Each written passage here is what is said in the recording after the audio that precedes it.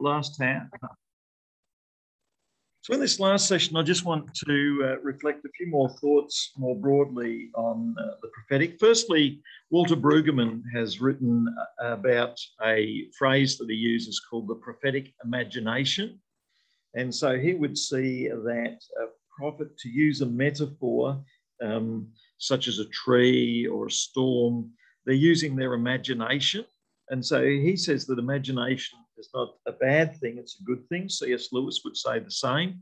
And it's not making untrue stuff up when we use an image of a storm or a tree or fruitfulness. On the contrary, it may give us a deeper insight to truth and what we're what truth is about. So prophetic imagination is the term that he uses. The imagination is an ability. Yep. Hey? Or just a little something on your on the forums on the right hand side. Yeah, is that what you mean? They, yeah, yeah. Oh, okay. okay. Yeah, no, that's all good. Yep. Thank you. So I've just been raptured there. so the imagination is an ability to see hidden sides of things. The imagination is an ability to see aspects of God's holiness, judgment, um, and also difficulty and hurt. So, imagination can be very, very useful in literature and in the prophetic, both in the author and the writer, and also in the reader. And good writing encourages the imagination of the reader. Imagination is frequently used through the use of metaphors, images, and pictures. And uh, also, it means being open. And so, uh, I think in a sermon or in a church, being open, uh, the preacher being open to the imagination, and the one who communicates uh, being open to the imagination is uh, very important. Um, the prophets also can touch on tragedy and uh, they can touch on irony and other literatures that we have uh, considered in past times. And so uh, we could explore um, these aspects of the uh, prophetic and uh, good and evil can be explored as well. Um, prophecy also can lead to a sense of discernment and uh, in looking at aspects of the prophetic. I, I thought it was interesting uh, to think of the ways in which you discern that which is uh, truth and uh, true and working in your life. And so um, the Apostle Paul, he gained an understanding of the prophetic and he touches on the prophetic in 1 Corinthians 12, 13, and 14 in the New Testament. And so in 1 Corinthians 12, he talks about the prophetic being part of spiritual gifts. Um, that is, the Holy Spirit, like wind and water, come into our lives, and that can bring a sense of discernment and uh, whether it be a, a song or a prophecy or a teaching or miracles, uh, Paul talks about this in Corinth. There's much debate about what's going on there in Corinth, and you can go visit ancient Corinth in um, it's about an hour and to an hour and a half away from um, Athens, and so there's ancient Corinth with its temple, um, and in Paul's time uh, he stayed there for quite a time, and there's uh, remains of old shops there from 2,000 years ago where the uh, shops were where Paul would have done tent making with uh, leather. But certainly um, they believed in uh, spirit powers, and Paul said that, in the church you can have those same spirit powers. In 1 Corinthians 3 and 6, he talks about the um, body being the temple of the Holy Spirit. In 1 Corinthians um, 14, he also talks about the gifts of the Spirit, but he says in 1 Corinthians 13, more important than these gifts is the um, uh, love, the capacity to love one another and care for one another um, is uh, supreme. So that's 1 Corinthians um, 12 and 14. So I'll go to 1 Corinthians 14. Any questions about prophecy and tongues and all of those things that Paul mentions there? So they're more prevalent in more charismatic Pentecostal churches and Pentecostal Baptist, charismatic Baptist, and all of those other ways. So follow the way of love, desire, gifts of the Spirit, especially the prophecy. So Paul says prophecy is a good thing that we should have more of. And one who prophesies builds up the church.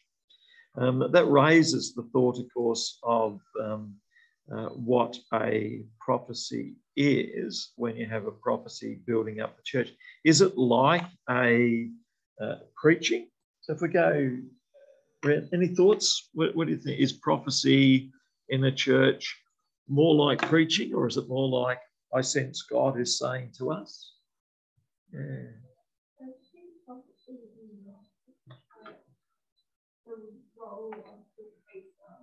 Mm.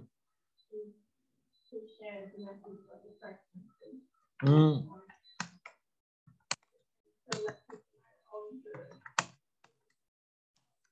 Mm. Yeah, so we've got the preacher who's sharing the message, the correct message, and that's one way of understanding. Because really, prophecy is having a sense that God's wanting to speak to us, and then having a sense that some people, could be young people or people with a sense of maturity, are able to communicate that and say, I sense God is saying to us. And so it's a responsible position. In some churches, they can spend two years or more waiting on God for a sense that He has called them to be the minister and so there is that sense of, with this huge responsibility. And yet, in other youth groups and things, we can say, no, next week you'll have an opportunity to share. So it can vary that level of responsibility. Thoughts on, yeah. Mm.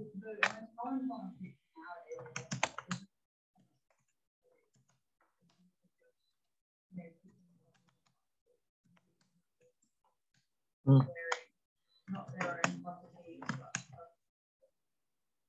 Mm. Mm. I think also sometimes you get lucky enough that someone will have an actual Mm. Mm. Mm. and you feel it when you hear it. And I, and I guess even when you hear a Martin Luther King say, I have a dream, you feel, wow, there is something powerful in that word. And then it raises the question is that sort of a, a, a God inspired, spirit inspired, life inspired, or, or, is it coming from careful craftsmanship or thought, or is it a combination of both? And so, yeah, it raised those thoughts. Thoughts? Um, I think kind of probably somebody you have somebody kind of is able to kind of say see the of time mm. in that way um, from side by going by just seeing what's happening going this is where things are heading mm. and that way we look at it um, just from the vulnerability or maybe intelligence and stuff and then also we can have so in that way you do have a um, a certain uh, be better in that way. Then yes, yes. A more direct option uh, from someone in that. And so you can mm. sometimes you need mix of both or even uh, mm. both ways. And I think probably more common is is probably more somebody seeing how like time to time of things will happen now or there. Mm. So that's probably but yeah. Now, now, of course, songs can be very prophetic, can't they? And, and uh, I guess in church service today, a third or more, half service can be songs, and they can be prophetic about, um, you know, God has called us, God's working. Um, and so I think it'd be interesting to reflect on prophecy in song. Um, prophecy can also be uh, connected with working for particular groups for particular needs. I found an interesting um, paper before discerning the call to prophetic civil leadership within Afro American pastoral tradition. So this is in Texas, in the US of A. It's a Master of Arts thesis, 2009, Austin Graduate School of Theology. But um, what I, I thought was interesting here was that throughout history, many have answered the unique prophetic call to serve the Afro American church and community in various ways. And one of these ways is through preaching, but another is through being an orator or a politician or an idealist, uh, sharing a vision of God's purpose. Traditionally, for Afro American clergy, God's prophetic call extends beyond the responsibility of preaching and teaching and counseling and shepherding a local congregation and extends into the public domain of civic leadership and the challenge of confronting systemic and institutional racism and other injustices in the community. And I thought this reflects really well another aspect of the prophetic is that the prophetic can be a um, time of um, hearing God and hearing God for the community and then hearing God in order to you know, bring better purposes to pass. So there are a few thoughts on uh, other ways in which we can understand um, prophecy. Uh, there's an article there on prophecy in Bethel Church, which is known more for the charismatic Pentecostal prophecy. Uh, Gordon Fee, he says that prophecy is spirit inspired, spontaneous, understandable messages, orally delivered often, but they can be written to people gathered in an assembly. So it's not just for individual, but it's for the gathered people for the encouragement of the people. So prophecy can have uh, various forms, um, and there's a lot of great insights there. Graham Goldsworthy, he says that prophecy um, continues in the tradition from Moses all the way through. It's a sense in which a humanly mediated word from um, can be communicated to people to encourage them. Can we take the um, last 10 to 15 minutes then just to uh, run through what can you do in the next um, uh, four to five days to be very effective in your assignments? Going to get everyone to think and write down what are some things that will make for a stronger assignment. So for a stronger assignment, so you've got an assignment coming up. If you have any more questions on prophecy, feel free to ask me. But can I get everyone to write down for a stronger assignment, we should. Now, one of the things that I think is the starting point for a stronger assignment is strong scholarly resources. Sometimes you can find them by going to um, Google Scholar and you can put in uh, your uh, topic, which could be Daniel um, and Revelation. And then today we've been uh, doing prophecy. But you go there, and then you've got these resources here and then sometimes you'll find some of them are duds, they don't have much there, but sometimes you'll find some good resources. Sometimes you can put in um, the term abstract or thesis, and you may know other terms as well. And sometimes that'll bring up someone's scholarly thesis in the area that you're looking at. And I think that's quite a good model to follow. If someone's written some scholarly work, and done it as a thesis, then um, as a scholar, that can be uh, useful. So I think that's one of the secrets for a stronger assignment. We should have strong scholarly sources. You can go to the Heritage College Library website and put in there. Then, but thoughts. What what would you do to make a good assignment? Yeah. Yes, yes. So you've got to balance uh, your time. Now, some people leave it to the day before it's due and they rely on coffee to give them good grades in their assignment, but I don't know that that's the best way. I think um, better the more you can space the time out a bit.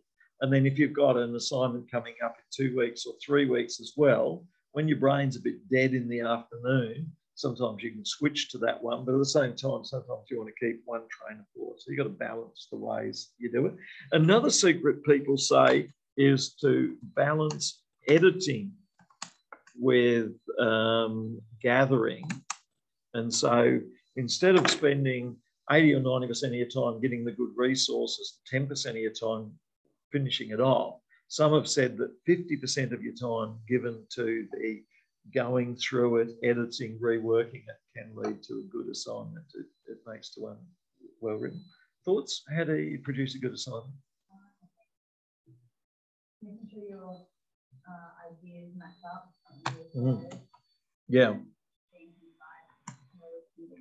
Yeah. Yeah.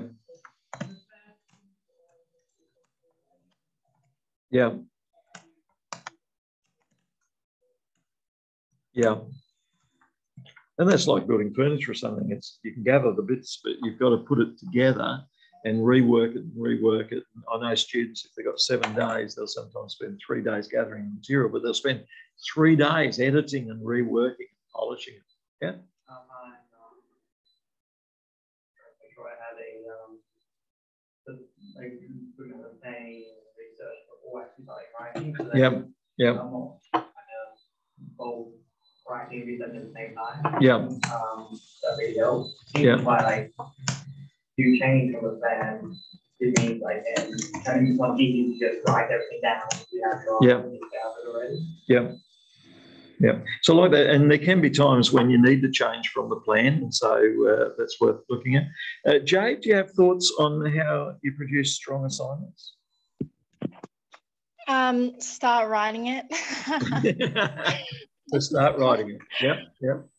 um, yeah, I don't know. I think, look, for me, you know, and this is such a biblical based one for me, I'm just going to be praying that the Lord reveals some wisdom that I can write down and sound really impressive.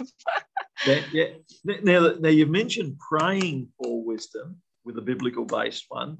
I think one of the secrets is um, commentaries. So there are books that provide the wisdom. And so if you're doing whichever book of the Bible, go to a commentary. And one is Sonic Light, um, but there are other commentaries as well that you can find online. So even if you Google commentary and the name of the book, that will be useful. Matthew, how do you feel about um, effect, uh, developing effective assignments? What are some of the steps? Uh, one step that I'm in at the moment is just categorizing um, Mm. the information um, Mm. so I can begin to join those dots. Yep. And just grouping stuff together. Um, Yep. yeah. I, I like that categorizing, grouping, gathering the information. So you often develop paragraphs where you got all the same ideas together in one spot. And then sometimes it's worth leaving out a third or two thirds of your assignment for another day. So you gather all this information and then you think that doesn't really fit in with this assignment. That's somewhere else. Now, these days, you don't have to throw it out. You can cut and paste that into another page, save that for another time. So sometimes your assignments are best with what you leave out. The difficulty is sometimes you leave out the very best bits that were, um, and so you've got to uh, think through um, how you uh, cover uh, that. So let's draw a close then. Um, uh, let me pray as we um, uh, draw together today's session on prophecy. Heavenly Father, we thank you for an opportunity to be open to revelations that you may bring into our lives. Lord, we've had a sense that you do speak into our lives at times as to uh, through other people, at times through just an openness to you, at times through your word, and then you do at times open up opportunity for us to share these insights with one another. Lord, we do pray as we write these assignments that you might speak to us. And as we're open to you and the future that you have for us, we pray that you'd speak to us as well. Amen. Yeah, so any questions at all on your assignments, or it's just a matter of, yeah, got to go for it, got to get it done. Yeah. Mm. What, what do you think will be the hardest thing in the assignment? and, and that just takes time, doesn't it? It's just yeah, yeah. working it, working it. Yeah. Can you overwork an assignment? Right. So it gets rid of that freshness and it becomes different, doesn't it? Because certainly you can do that with a song and a poem. You can overwork it, and you, and you need to save the original because that's a different work. It's the later one. And same with painting, you can overwork that. It's, it's different. Yeah.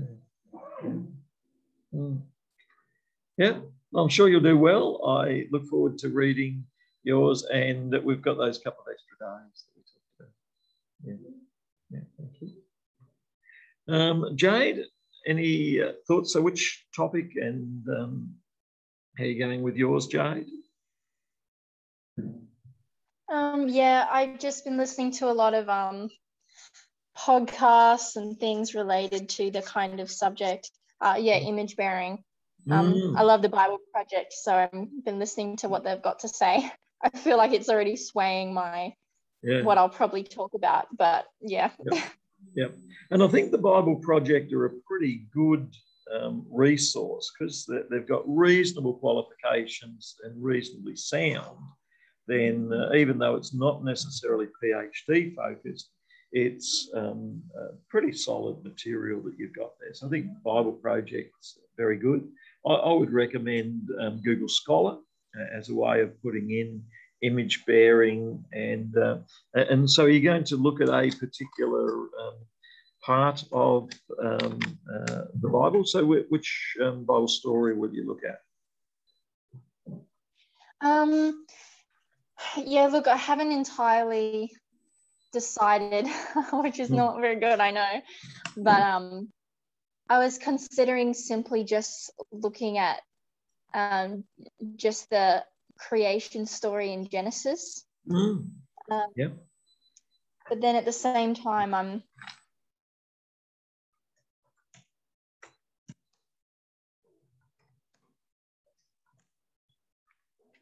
And, and uh, I'll just here as an example, you might be able to see up. I've put in uh, image bearing Genesis creation, and it's brought a lot of thought into it. Yeah. But um, that could be another one there, and um, mm. yeah, I know.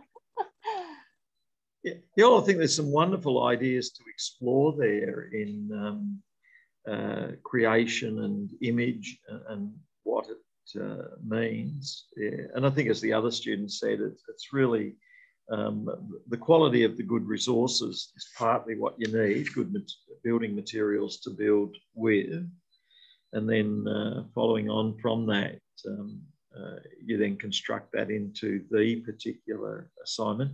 And then you want something on um, literature in the Bible. So um, uh, uh, we'll look back over, say, um, uh, plot and narrative and uh, metaphor and other literary aspects that we've looked at as well can be useful. Yeah. Yeah. Matthew, any thoughts, questions on doing well in the assignment? Um, yeah, well, like I have been, I've stayed with the Genesis 3 narratives. Yes. Uh, but I have not nailed it down for my Joseph story to mm. Genesis 37 to only. Yeah. Well, it took me a while to really work out like just because it's such a big story. It's like a little novel tacked on the end yeah. of yeah. Genesis. Um, but it has those connections with Genesis 4 um, with that just the human dynamics. Mm. Um, and so yeah, there's some some, some stuff there. And, I, and the good thing about Genesis 4 for me is how it really is fraught with background. Mm. Um, there's so much that is not filled out. There's hardly any description there, and but there's a lot in the the literary features there that can be brought out. So, and then yeah, just Genesis three as well because that's always a fascinating story. I'm really keen to. There's some interesting things with the dialogue mm. that happens, um, especially with um, verbatim um, differences which brings out some interesting characterization. So I'm my main interest is digging into the literary features for me. I'm wondering whether probably you might be better to choose either Genesis 37 or Genesis 3 and 4, um, in that they may be um, rather different places and times. Mm. Um, yeah, because um, that will patriarchal and yeah, yeah, that would actually get away from um, any difficulties that you would have, um, whether they match are. Um, certainly, Genesis 3 and 4 is a wonderful combination of a couple of chapters close together. Um, they're, they're, clearly connected, I would think.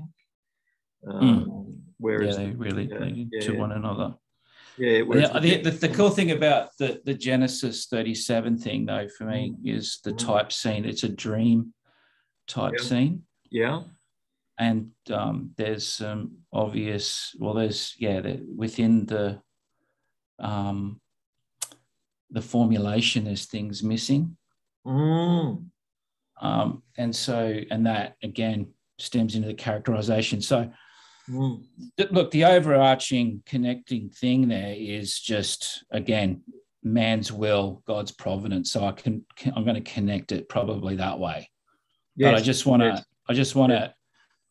Focus in on these few different literary aspects, which I find really interesting because as in because I'm going to be an English teacher, they're the things right. that I need to get my head around. I found the book really, really good because it's given mm. me a mm. lot more information mm. to identify these techniques. Yes, yes. And so that's where my interest lay. Yeah, yeah. And, that, and that'll be really valuable to yeah, strengthen your English mm. teaching side and English understanding of um, yeah what is the nature of uh, literature and language. And uh, as as you say, all, all three of these chapters cover it well. With chapter thirty seven, um, really does uh, do a wonderful job. Yeah, no, I think that'll be very very good. So thank you each one. And uh, thank you for your prophetic word that you wrote down too, Matthew. I found that uh, very helpful and very positive. Uh, you're welcome. Well. It's, it's, a good activity to do. I, yeah. I like those little forum things. Yeah. Yeah. That's great. And thank you, Jade. Great to um, see what you're doing, catch up uh, again through the class. So thank you, each one. See you next week. Thanks very much. Bye. Catch you. Thank you. Thanks. Bye bye.